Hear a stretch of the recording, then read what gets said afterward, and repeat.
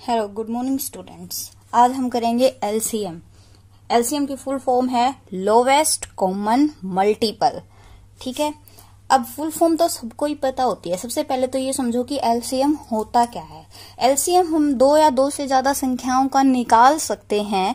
उन संख्याओं का एलसीएम एक वो छोटे से छोटी संख्या होती है जिसको वो सारी संख्याएँ कंप्लीटली डिवाइड कर सकती हैं। समझ में आ गया? एलसीएम क्या होता है? वो छोटे से छोटी संख्या होती है, जिसको वो सारी संख्याएँ कंप्लीटली डिवाइड कर सकती है। ठीक है? अब हम एलसीएम निकालना सीखेंगे। जैसे कि एट ट्वेल्व ट्वेंटी सिक्स इसका हमें क्या निकालना है? एलसीएम तो ये होता है एलसीएम का सिंबल ठीक है? हम ऐसे लिखते हैं। क्लियर है? यहाँ लिखेंगे एट ट्वेल्व ट्वेंटी सिक्स हम इसको सबसे पहले एक तरीके से डिवाइड ही होता है ये तो सबसे पहले हम छोटे से छोटे नंबर से करेंगे, ठीक है? अब ये तीनों ही टू से हो रहे हैं तो हम करेंगे टू से, ठीक है? टू की टेबल में एट कितने पे आता है? फोर पे तो टू फोर जा एट ट्वेल्व कितने पे आता है? सिक्स पे तो टू सिक्स जा ट्वेल्व और इसको ट्वेंटी सिक्स को करेंगे तो देखो टू वन जा टू ठीक है? और टू थ्री जा सिक्स ये आ गया।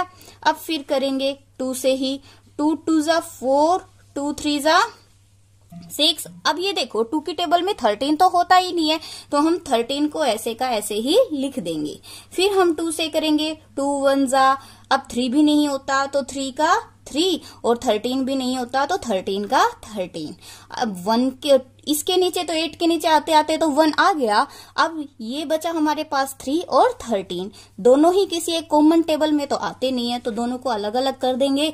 थ्री से कर देंगे, पहले ये वन का वन थ्री वन जा थ्री और थर्टीन का थर्टीन फिर कर देंगे थर्टीन से वन का वन वन का वन थर्टीन वन जा थर्टीन क्लियर है?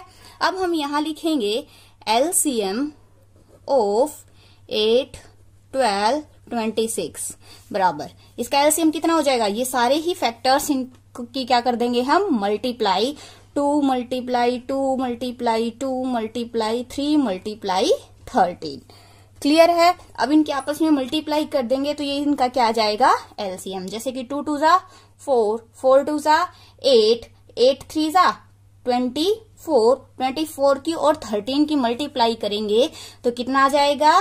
Three hundred twelve.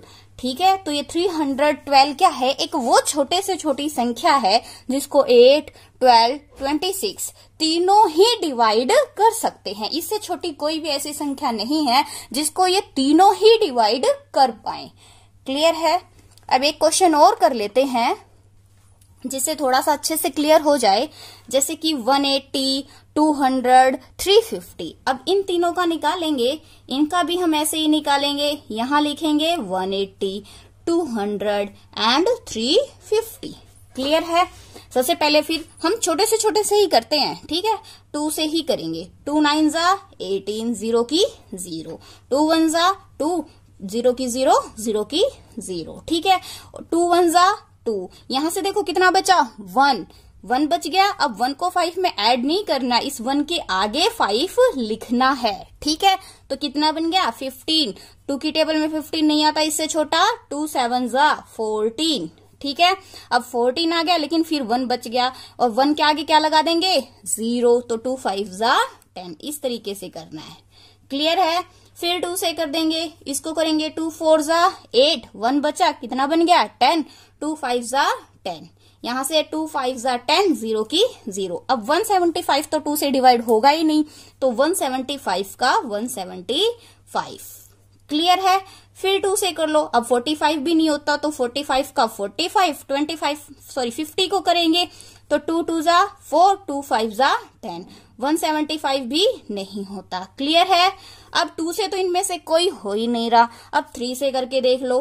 थ्री से ये हो जाएगा। थ्री वन जा थ्री कितना बचा? वन और आगे क्या लगा दिया? फाइव तो कितना बन गया? फिफ्टीन तो थ्री की टेबल में फाइव पे। क्लियर है? ट्वेंटी फाइव थ्री की टेबल में आता ही नहीं है तो ये ऐसे का ऐसे। ना ही वन सेवेंटी फाइव थ्री से डिवाइड होगा। क्लियर है? अब फिर थ्री से थ्री फाइव जा फिफ्टीन ये तो होगा नहीं, और ये भी नहीं होगा। अब ये किससे जाएगा? थ्री से। अब इनमें से कोई भी नहीं जाएगा।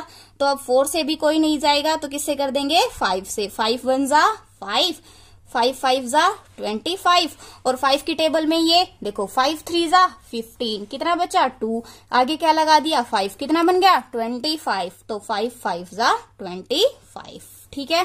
फिर फाइव की टेबल में फाइव वन जा फाइव फाइव सेवन जा। अब फिर सेवन की टेबल में। क्लियर है? देखो लास्ट में तीनों ही वन वन आ गए ना तब तक हमें इसको सॉल्व करते रहना है।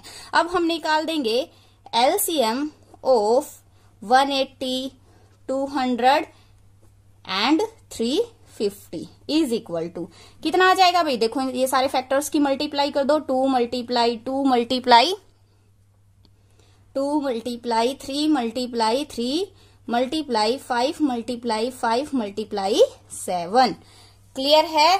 देखो भाई, करो टू टू जा, फोर फोर टू जा, एट। ठीक है? और एट थ्री जा, twenty four. Twenty four three जा, सेवेंटी टू। सेवेंटी फोर की sorry seventy two seventy two की फाइव के साथ करेंगे। सेवेंटी टू की किसके साथ करेंगे? फाइव के साथ। ठीक है? कर दोगे? कितना आ जाएगा? थ्री सिक्सटी थ्री सिक्सटी की फिर फाइव से करेंगे। कितना आ जाएगा?